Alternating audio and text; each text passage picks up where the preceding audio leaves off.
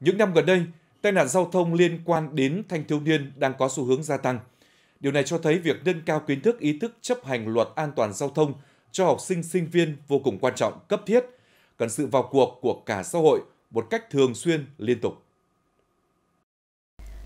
Đây là những hình ảnh về vụ tai nạn giao thông xảy ra ngày 7 tháng 11, khiến ba học sinh huyện Kỳ Sơn, tỉnh Nghệ An tử vong.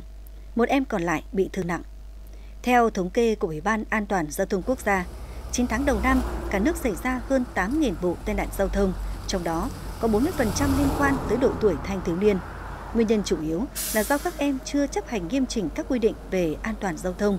Tại tỉnh Hưng Yên, không khó để bắt gặp hình ảnh học sinh vi phạm luật giao thông như thế này. Các lỗi thường gặp đối với học sinh sinh viên là chưa đủ tuổi để điều khiển xe mô tô, xe máy điện và hoặc là điều khiển ờ, xe mô tô, xe máy điện không đội mũ bảo hiểm. Có thể một lỗi hành vi rất đơn giản thôi.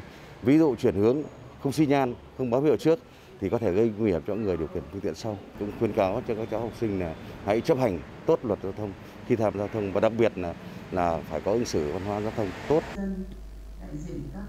Bộ Giáo dục và Đào tạo phối hợp với Ủy ban An toàn giao thông quốc gia và công ty Honda Việt Nam tổ chức tuyên truyền giáo dục pháp luật về an toàn giao thông và hướng dẫn kỹ năng lái xe an toàn cho học sinh, sinh viên tại 24 điểm cầu trên cả nước như thế này, rất được học sinh và các thầy cô quan tâm.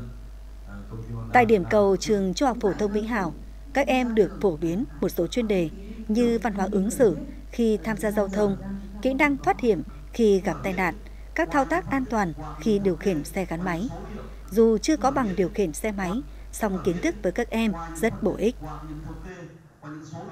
Em thấy là việc tuyên truyền pháp luật này vô cùng ý nghĩa và cực kỳ cần thiết trong cuộc sống ạ. Em sẽ hiểu hơn về luật và đi đường sẽ giữ được an toàn cho bản thân cũng như là xã hội. Em sẽ tuyên truyền không chỉ những bạn cùng lớp mà cùng khối và toàn, toàn trường luôn ạ. Chúng tôi cũng tổ chức ký cam kết về an toàn giao thông giữa nhà trường với phụ huynh học sinh và học sinh phát huy vai trò của các cái đội xung kích, đội cờ đỏ tham gia giữ gìn Ờ, trật tự an toàn giao thông. Nếu như mà những học sinh mà cố tình vi phạm an toàn giao thông thì chúng tôi cũng xem xét xử lý về mặt à, hành kiểm đối với các em đó.